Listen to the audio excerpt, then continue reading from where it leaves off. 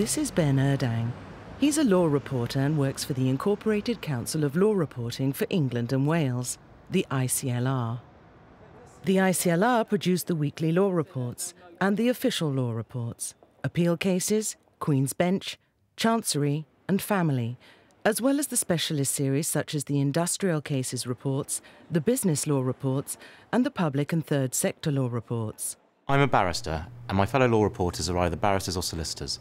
This is an important requirement, as it means that our reports bear the stamp of legal authority and can be relied upon by judges and lawyers in court.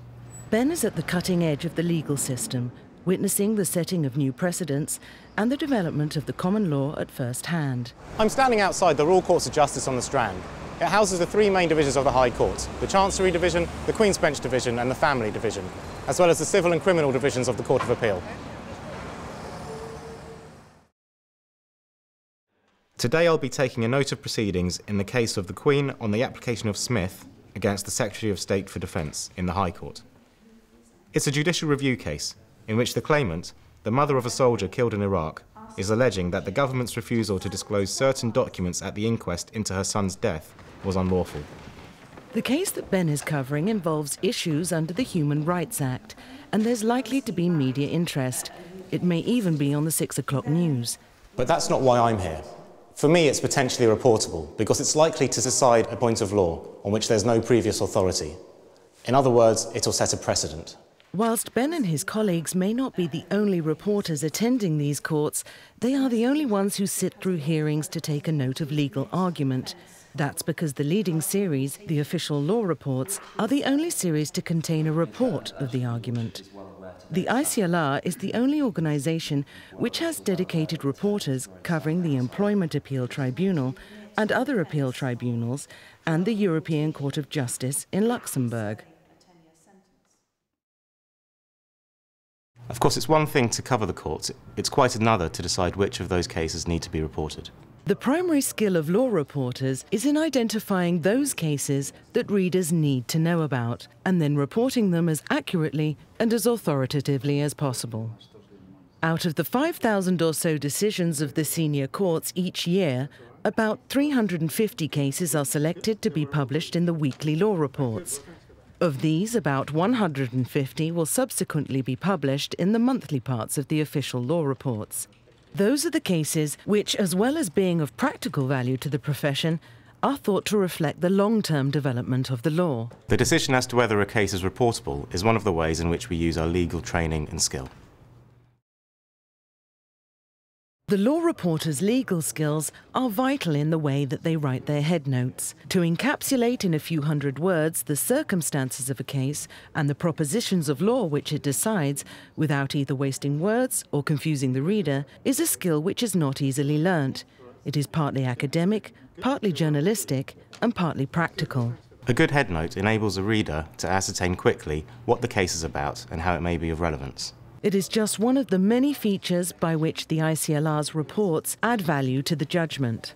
Others include the catchwords, sometimes called keywords, which categorize the subject matter of the case according to a hierarchy of index headings, and the lists of cases referred to in the judgments and cited in argument. Between them, the catchwords and headnote help practitioners assimilate the ratio of the judgment at a glance. These are all things you can't get from a raw transcript. But if a case is important and if it's definitely reportable, people need to know about it as soon as judgment is given. That's why the ICLR publishes overnight summary reports known as the WLR Daily Cases, which are available online on its website at lawreports.co.uk. In fact, they are the only such service which is free, and it's easy to set up email alerts or RSS feeds to keep bang up to date with the most important recent decisions. ICLR reporters also contribute to the law reports published daily in the Times. There is a time lag before we can provide the added value of a full text law report.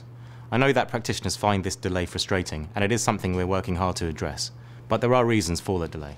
First, it is necessary to wait for the court to approve an authorised transcript of the judgment. The transcript forms the basis of the report, but there's a lot that needs to be added. Ben's job as the reporter includes writing the headnote and catchwords and checking all the references and quotations in the judgment. He also compiles lists of cases, not just those referred to in the judgment, but also the cases cited by counsel in both written and oral argument, together with all their standard references. If the case is appearing in the official law reports series, he will later add a summary of the argument. Once Ben has completed everything in the report, it is double checked by the editorial staff, who proofread the cases. Proofs are also sent to the judges for them to check and approve the final version of their judgments. Finally, the edited reports are sent to the typesetters, who provide a further set of proofs based on the layout of the printed page. Once these have been approved by the series editor, the reports are then printed by ICLR's printers in Chippenham. Quality takes time, and perfection even longer. But thanks to technological developments, our reporting times have improved considerably in recent years, and the process is getting more efficient all the time. The Incorporated Council's law reports are also available electronically, either in CD-ROM format or online. Some series are available directly from the ICLR website. Others can be accessed via the websites of third-party providers to whom the ICLR has licensed its products. These electronic versions are fully searchable and printable and offer practitioners a really flexible and accurate research tool. In a system such as ours, which depends so heavily on the doctrine of precedent, law reporting is not just a work of scholarship, but makes a major contribution to the administration of justice. We're part of a tradition that stretches back hundreds of years. And while the way that we write and deliver our reports has changed in recent years, the standards of quality and accuracy that we bring to the job remain the same. Personally, I find it really satisfying to know that in years to come, my reports will be read by students, consulted by practitioners, and referred to by judges.